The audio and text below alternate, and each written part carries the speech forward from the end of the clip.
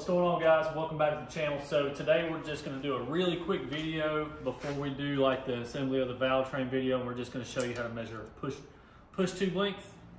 I call them tubes just because they're hollow. Um, but so we're gonna measure these up. These are the two tools you have. These are just some options.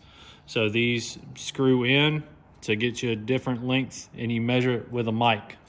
So we're gonna show you the how to do this.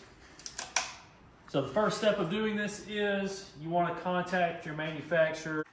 So we contacted the manufacturer of Michigan Motorsports with these LS7 style lifters and just checking preload recommendations on it because usually I run about 80 thousandths and they said that these can go anywhere from 40 to 150 thousandths and you know they, they typically have 220 thousandths available and just for reference um, you know an LS7 out of a Z06 come with about 120 to 130 thousandths preload on the lifters.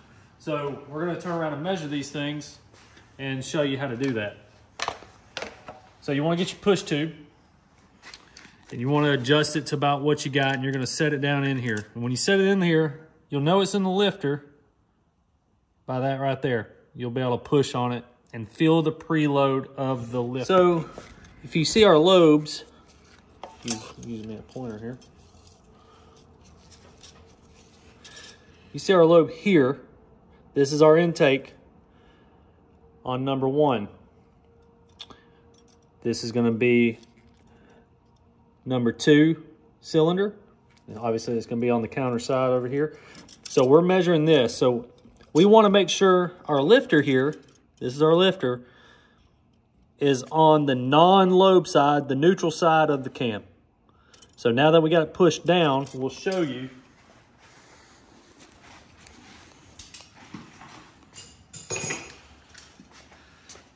Show them, show them again, Joe.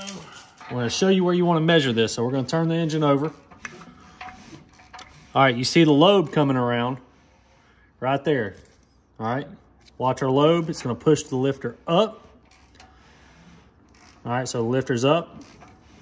So now it's going to, the lifter's not going to come down. It's going to stay in the lifter tray, but we're going to push it down. Now we want to continue around here.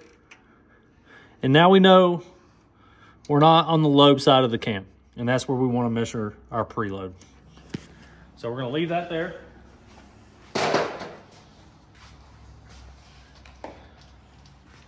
Now we're going to grab our rocker. This is a new rocker uh, from Michigan Motorsports with a trunnion upgrade. We're going to put this in. We're going to zip it down nice and easy. And you want to feel your rocker. We got a little side to side movement no up and down movement. Do you want to have this thing, at the other rockers on there? No. No.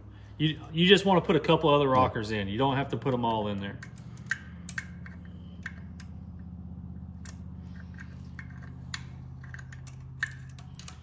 So we know we want to be a little bit tighter, so we're going to turn this in a half turn, put it back in,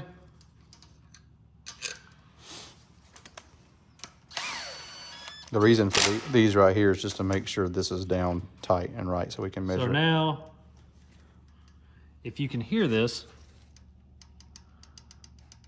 that's too loose. So we were dead money where we needed to be. But what we're gonna do to make sure, I just hammered it a little bit. We're gonna torque it.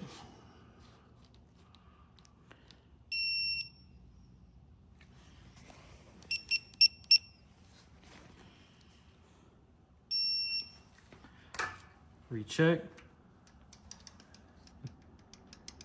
Listen closely. So that is too Not loose. I want it at zero lash, right? Yep, we want this at zero lash where we can measure is what we're gonna do, which you'll see in a second.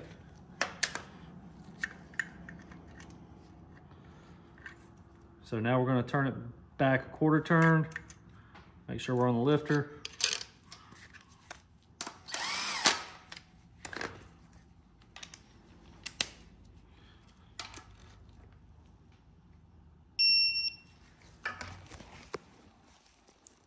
Now we have no noise. If you really pull, you can pull on the preload of the lifter.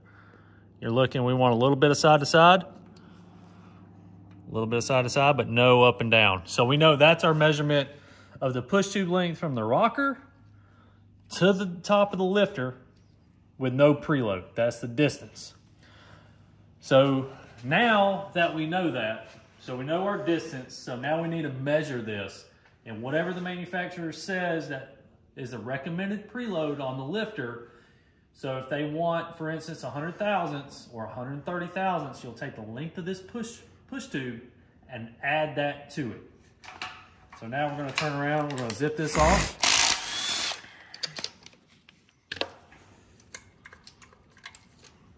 So we have our push tube. So we're gonna come over here.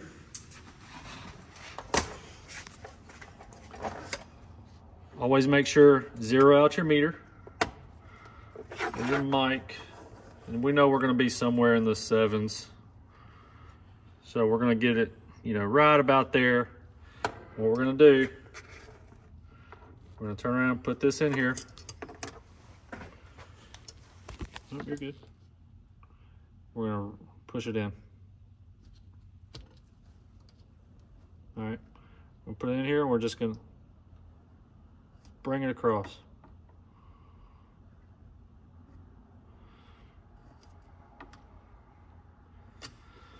All right.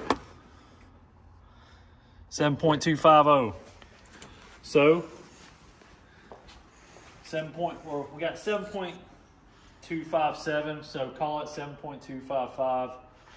Add 145 thousandths preload to it. They said we can go all the way up to 220 on their lifter. Um, you know, so we're gonna we're gonna run what they sent in their cam kit, 7.40. But you always want to check it because if you're running different rockers, you're running different head gaskets. If you had your head gaskets milled, if you had any block work done, anything along those lines, you always want to check your push tube length. Um, but that is it, a quick down and dirty on how to measure push tubes. But uh, hope you enjoyed the video. Please comment, subscribe, like, share, all the good stuff. We'll see you on the next one for the finished uh, build of this engine.